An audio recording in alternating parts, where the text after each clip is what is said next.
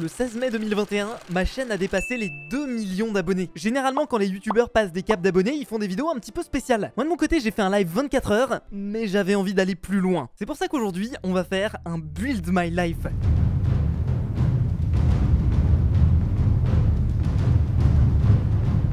Bon, j'ai demandé à un builder de me construire ma vie. Ouais, je sais, c'est bizarre dit comme ça. C'est exactement le même concept qu'un Draw My Life. Mais bon, vu qu'on est dans Minecraft et que je sais pas dessiner, et eh bah ben, à la place, je vais vous illustrer tout ça avec des constructions Minecraft. Bon, déjà, on va commencer par le début. Je suis né en 1998 à Paris. Ah, cette bonne vieille ville de Paris. Bon, pour ceux qui se demandent, ma mère, elle est architecte et mon père, il est fonctionnaire. Du coup, je pense que c'est pour ça qu'ils ont construit cette espèce de table d'architecte là. Normalement, c'est là que les architectes dessinent les plans, etc., etc. C'est peut-être pour ça à la base que je me suis intéressé à Minecraft. Quoique mon niveau en build est pas vraiment digne d'un architecte. Hein. je vais pas vous mentir, je me souviens littéralement de rien quand j'étais petit jusqu'à ma primaire. En primaire, c'est vraiment là où j'ai commencé à m'intéresser à tout ce qui touchait à l'informatique et aux ordinateurs. J'étais un petit peu ce qu'on pouvait appeler un geek, on va pas se mentir. Alors par contre, les builders, vous m'avez pas respecté. Hein. Je, suppose que ça, c'est censé être de la bave qui coule. Non mais franchement, les gars, je me fais pas respecter même par les gens que je paye. Je me souviens que dès très jeune, mes parents m'avaient acheté des livres sur comment marchaient les objets technologiques. Dans la cour d'école, je feuilletais des magazines de, de vente d'ordinateurs et de trucs informatiques. Dès que j'avais l'occasion d'aller sur l'ordinateur, je peux vous dire que je la saisissais. Quand j'avais 7 ans, en CE1, je m'en souviens, je me baladais sur internet avec mon babysitter et j'avais découvert ce que c'était que les blogs. À partir de là, j'ai insisté comme un gros taré pour que mes parents me laissent créer mon propre blog. Et après beaucoup de forcing, j'ai finalement eu le droit de créer le blog du Kiratolus. Bon, j'ai déjà fait une vidéo sur ma chaîne où je vais revisiter mes tout premiers blogs, mais en gros, pour faire simple, il n'y a pas grand chose à voir sur ce blog. Je suppose que cette pièce est censée représenter justement ce premier blog. Il y a marqué, hop, le blog du Kiratolus. Et c'est drôle qu'ils aient choisi de représenter le blog comme étant un open space comme ça, parce qu'à cette époque-là, j'étais vraiment obsédé par devenir le plus gros blog de France. Ce qui veut pas dire grand chose, hein, on va pas se mentir. Ça existe pas, un trophée qui récompense genre les plus gros blogs ou les meilleurs blogs, j'en sais rien, mais ça n'existe pas. Mais je sais pas, j'étais jeune, je, comprenais pas trop. Pour le coup, sur ce blog du Kiratolus, j'écrivais sur tout et n'importe quel sujet. Et je dois avouer que de temps à autre, il y avait un petit peu de copier-coller. Genre entre deux articles bourrés de fautes qui parlaient de Pokémon, il y avait un article parfaitement rédigé sur la conjecture de Poincaré copier-coller de Wikipédia. Non mais j'étais jeune les gars, j'ai une excuse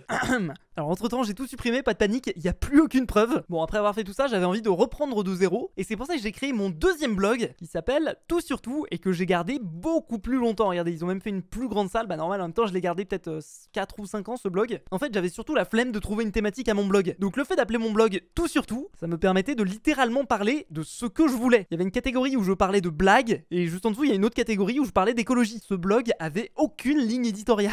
Au fur et à mesure des années, j'ai commencé à écrire de plus en plus d'articles. En fait, je voyais mon blog comme une petite Au fur et à mesure du temps, j'ai ouvert plusieurs branches à mon blog. Genre par exemple Tout sur Tout Pictures. C'était une chaîne Dailymotion sur laquelle je postais des sketchs avec mes potes toutes les semaines. N'allez pas voir s'il vous plaît. J'avoue, c'était un petit peu ridicule, mais c'était mon premier pas dans le monde de la vidéo. Je me souviens qu'à l'époque, notamment, je regardais énormément du tutoriel sur euh, Premiere Pro et After Effects, et j'avais même été voir mes parents pour qu'ils m'achètent ces logiciels. Sauf que à l'époque, acheter ce genre de logiciel, ça coûtait genre 1500 euros. Donc je me suis pris un stop. Du coup, je me suis rabattu sur Movie Maker, qui était complètement éclaté comme logiciel de montage. D'ailleurs, je suis même pas sûr que ça existe encore. Voilà, du coup, j'ai continué mes petites vidéos tranquillou dans mon coin, jusqu'à ce que petit à petit, je quitte l'école primaire, et euh, du coup, j'étais plus avec mes potes, et donc j'ai arrêté de faire mes vidéos sur Dailymotion. Une petite minute de silence d'ailleurs pour Dailymotion. Alors attendez, attendez, attendez. Ils m'ont mis, ils m'ont mis des photos de moi quand j'étais en primaire. Voilà, vraiment, est-ce que vous avez envie d'avoir un fils qui ressemble à ça? Je sais pas. Bon là déjà, j'avais l'air un petit peu plus sympa sur cette photo. J'avais l'air aussi un petit peu plus jeune, je pense. C'est le parc Astérix, ça, non? Bon, je sais pas. Là, je pense que je revenais d'une sieste qui s'était mal passée. Et ensuite, on rentre dans la période où j'étais un petit peu plus vieux, où j'avais quand même une sale tête, on va pas se mentir. Voilà, ça c'était, je pense, vers le CM2, donc fin de primaire, à peu près pareil. Et là, on rentre dans la période collège. Bon, d'ailleurs, on remarquera la petite game de League of Legends derrière. J'arrive pas à reconnaître quel personnage est-ce que j'étais en train de jouer par contre.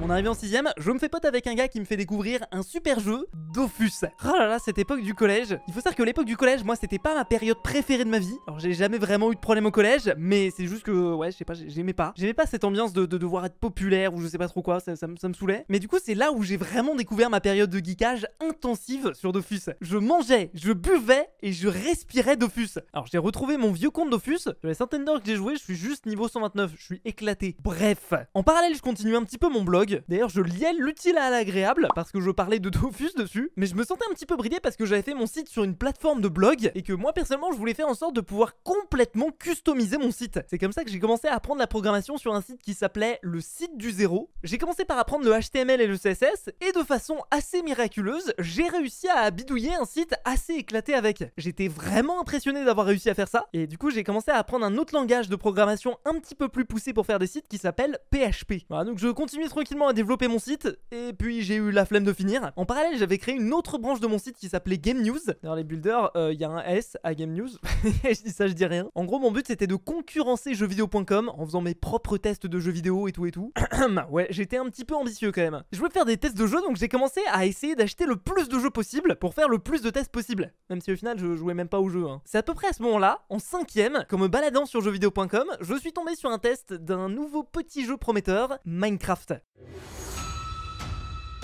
À l'époque, c'était une vidéo de deux mecs qui présentaient leur monde Minecraft et ça m'a instantanément scotché. Et justement, dans leur vidéo test, à un moment, ils ont fait référence à un certain The Fantasio 974. Bon, bah évidemment, pour comprendre ce nouveau jeu que j'étais en train de découvrir, j'ai regardé toutes les vidéos du guide pour bien débuter à Minecraft d'une seule traite. J'avais qu'une idée, c'était d'installer Minecraft sur mon ordinateur. Donc évidemment, je l'ai acheté. Je déconne, hein, évidemment, comme tout le monde, je l'ai craqué. Eh, me tapez pas les gars, hein, depuis le début, j'ai dû en acheter une vingtaine des Minecraft. Oh, j'ai pas vu derrière le The Fantasio 974, ils ont écrit le guide avec euh, un petit truc de craft. Ah. Franchement, ça rappelle des souvenirs. Bon, juste après avoir découvert Minecraft, du coup, j'ai complètement abandonné Dofus. Et j'ai aussi un petit peu délaissé mes projets de site. Sauf un que j'ai appelé les Minecraftiens. Et ça, je vais vous l'expliquer juste après. Pour vous dire, à l'époque, The Fantasio, il avait moins de 20 000 abonnés. Et c'était l'une des plus grosses chaînes de France. Je pense que je passais littéralement la moitié de ma journée à regarder des vidéos YouTube. Donc, forcément, à force de regarder, j'ai eu envie d'en faire moi aussi. Bon, j'avais 12 ans, c'était pas l'originalité qui primait. Puisqu'au début, je voulais faire un guide pour bien débuter à Minecraft. Que je pourrais à la fois poster sur mon site les Minecraft et à la fois poster sur YouTube. Tiens, tiens, tiens, ça me rappelle quelque chose. Bon, au final, la première vidéo que je poste sur YouTube, j'en ai déjà parlé avant, mais c'est une vidéo visite de mon monde Minecraft. Et on va se mentir,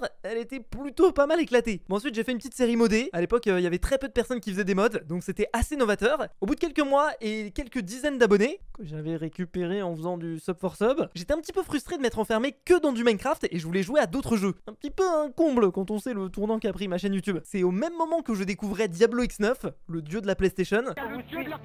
Il y avait aussi Monsieur le V12, Bismode 3. En fait, c'était des youtubeurs principalement Call of Duty. Et c'est à ce moment-là que j'ai un petit peu délaissé Minecraft et que j'ai commencé à tryhard Call of. Pour être honnête, j'ai toujours été complètement naze. J'ai jamais réussi à avoir un ratio au-dessus de 1. Je me souviens que je jouais sur ma bonne vieille Xbox 360. Putain, c'est vieux ça. Et si vous reconnaissez cet endroit, vous êtes un bon. Ça, c'est la map Newton. C'est l'une des maps les plus populaires de Call of Duty, je me souviens. Et c'est là que malheureusement, j'ai décidé d'abandonner ma première chaîne YouTube. Alors oui, j'ai abandonné cette première chaîne, mais à aucun moment la volonté de faire des vidéos sur YouTube, elle est sortie de ma tête. Je peux vous dire que vraiment depuis que j'ai 12 ans, je pense littéralement que à faire des vidéos. Du coup, j'ai créé une nouvelle chaîne multigaming qui s'appelait Redact Game News. En fait, je voulais faire genre que c'était la chaîne de la rédaction de mon site de jeux vidéo Game News, sauf que j'étais tout seul. LOL. Du coup, j'ai commencé par poster des petites vidéos sur Minecraft. Décidément, j'ai un truc avec ce jeu, je crois. j'ai commencé à faire des tests de jeux vidéo random et après une grosse remise en question, j'ai tout supprimé et j'ai commencé à faire des vidéos sur Call of Duty. À l'ancienne, je me souviens les gens ils utilisaient un boîtier qui s'appelait l'HDPVR. C'est un boîtier ultra cher qui permettait d'enregistrer l'écran de sa Xbox en HD. Mais moi j'étais trop pauvre pour en avoir un. Du coup mes parents ils m'avaient acheté ce truc là, ça s'appelle un Dazzle. Voilà, en gros c'est le même principe. C'était un espèce de boîtier. Vous branchez votre Xbox, ça c'était les prises. Vous branchiez votre Xbox sur la prise et ça vous pouviez le brancher au PC et ça vous permettait bah, de, de capturer votre jeu. Le seul problème c'est que du coup la qualité du gameplay elle était équivalente à une potatoes McDonald's. Bon ça aura pas duré très longtemps puisqu'au bout de deux mois j'ai encore abandonné la chaîne et j'ai commencé à réfléchir à un projet de nouvelle chaîne YouTube. J'ai aussi décidé de changer de pseudo, chercher un truc stylé et j'ai trouvé Fuse. Et vu que j'aimais bien le youtubeur Bismode 3, j'ai mis un 3 à la fin. Ouais, on kiffe l'originalité, hein, décidément. Et c'est à ce moment-là notamment que j'ai découvert Pierre et son let's play mécanique. Ça a été une grosse claque pour moi, comme pour beaucoup de personnes, je pense, cette série. Ça m'a fait redécouvrir Minecraft et ça m'a trop donné envie de faire pareil. Donc hop, j'ai créé une nouvelle chaîne qui s'appelle Fuse 3. Et la première série que j'ai sortie sur cette chaîne, elle s'appelait le let's play automatisé. Originalité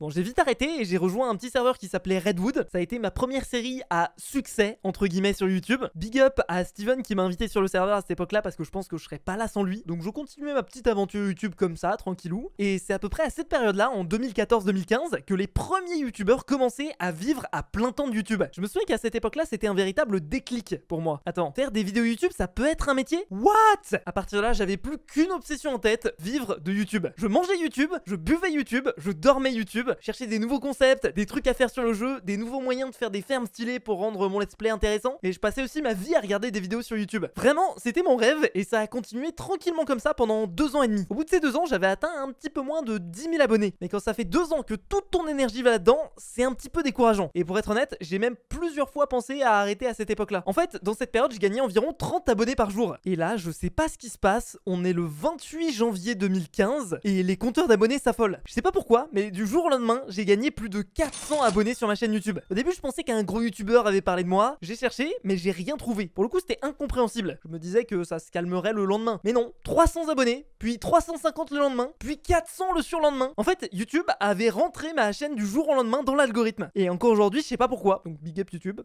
Petit à petit, je sentais mon rêve de pouvoir vivre de YouTube se rapprocher. En plus de ça, quelques mois plus tard, je lance Palladium, un projet de serveur Minecraft qui, sans le savoir, changera ma vie. Pour être honnête, au début, c'était même pas censé être un serveur public. Mais un gentil petit monsieur du nom de Arduino est venu m'aider à installer le serveur et m'a expliqué qu'on pouvait installer le plugin Faction dessus. À partir de là, le TGV était lancé. Moins de un an après, en septembre 2015, je passais les 100 000 abonnés. Je me souviens encore de mon premier chèque de YouTube au-dessus du SMIC et m'être dit, ça y est, si je voulais, je pourrais vivre de YouTube. Bon, sauf que j'étais en terminale et les études c'est quand même important. C'est ce que mes parents m'ont dit. Cette année de terminale, elle était vraiment chelou. J'ai commencé avec à peu près 100 000 abonnés et je l'ai terminé avec 300 000. Le truc le plus bizarre, c'est qu'à la fin de l'année, je gagnais autant que mes deux parents réunis. Du coup, je voulais prendre une année sabbatique pour continuer YouTube à plein temps et enfin pouvoir vivre mon rêve auquel euh, je pensais depuis des années. Mais pour le coup, ça a été un non catégorique de mes parents. En même temps, à l'époque, YouTube c'était quand même assez nouveau et ça faisait à peine un an que je pouvais en vivre. Du coup, je suis parti dans une petite filière en deux ans qui s'appelle un DUT informatique. En fait, faire des études dans l'informatique, je me disais que ça pourrait être utile pour Palladium, pour un petit peu euh, progresser en développement. Et surtout, moi à la base, si jamais YouTube avait pas marché, j'aurais voulu faire ingénieur dans le domaine de l'informatique, donc c'était plutôt cohérent. Je me souviens qu'au tout début du DUT,